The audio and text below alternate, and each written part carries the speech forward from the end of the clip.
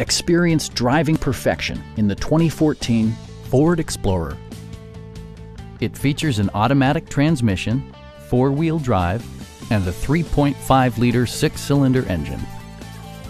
Top features include a split folding rear seat, delay-off headlights, a tachometer, a trip computer, an outside temperature display, power door mirrors and heated door mirrors, and power windows. Third row seats provide an even greater maximum passenger capacity. With side curtain airbags supplementing the rest of the safety network, you can be assured that you and your passengers will experience top-tier protection.